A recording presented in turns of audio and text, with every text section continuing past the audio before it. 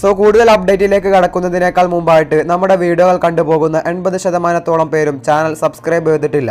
Channel ഇഷ്ടപ്പെട്ടാൽ മാത്രം ഒന്ന് സബ്സ്ക്രൈബ് ചെയ്യുക. കൂടെ വരുന്ന ബെല്ലേക്കം കൂടി ഇനേബിൾ ചെയ്യാനായിട്ടും ശ്രമിക്കുക. സോ നമുക്ക് നേരെ വീഡിയോയിലേക്ക് കടക്കാം. ഐ എസ് എല്ലിൽ നിന്ന് എതിരാളികളായിട്ടുള്ള എഫ് സി ഗോവയും കേരള ബ്ലാസ്റ്റേഴ്സും തമ്മിൽ രാത്രി ഏഴ് മുപ്പതിന് കൊച്ചിയിൽ വെച്ചാണ് ആവേശകരമായിട്ടുള്ള മത്സരം നടക്കാനായിട്ട് പോകുന്നത്. ആരാധകരെല്ലാവരും തന്നെ വളരെ ആകാംക്ഷയോടെ കാത്തിരിക്കുമ്പോൾ തുടർ വിജയത്തിനായിട്ടാണ് കേരള ബ്ലാസ്റ്റേഴ്സ് ഇന്ന് കളത്തിൽ ഇറങ്ങാനായിട്ട് പോകുന്നതും. ഏതായാലും ഇന്നത്തെ മത്സരം നടക്കുന്നതിന് മുൻപായിട്ട് എഫ് സി ഗോവ അവരുടെ ട്വിറ്റർ പേജിലൂടെ അറിയിച്ചിട്ടുണ്ടായിരുന്ന അല്ലെങ്കിൽ പറഞ്ഞിട്ടുണ്ടായിരുന്ന അല്ലെങ്കിൽ റിപ്പോർട്ട് ചെയ്തിട്ടുണ്ടായിരുന്ന ഒരു കാര്യമാണ് നോക്കുന്നത്. മലയാളത്തിൽ തന്നെയാണ് കേരള ബ്ലാസ്റ്റേഴ്സ് ആരാധകർക്ക് വേണ്ടിയിട്ടും ടീമിന് വേണ്ടിയിട്ടും ആ ഒരു report നൽകിയിട്ടുണ്ടായിരുന്നത്. So F C Goa report ചെയ്തത് ഇപ്രകാരമാണ്. കൊച്ചി മച്ചാന്മാരെ നമ്മൾ വരുന്നുണ്ടിട്ട ഈ മലയാളത്തോടൊപ്പം tell us one must visit pre game stop in Kaloor for tomorrow എന്ന് പറഞ്ഞുകൊണ്ടുള്ള ഒരു ക്യാപ്ഷൻ കൂടെ അവർ നൽകുന്നുണ്ട്.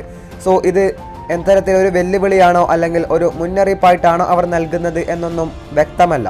ചാനൽ ഇഷ്ടപ്പെട്ട സബ്സ്ക്രൈബ് ചെയ്യുക വീഡിയോ ഇഷ്ടപ്പെട്ട ലൈക്ക് ചെയ്യുക. നന്ദി നമസ്കാരം.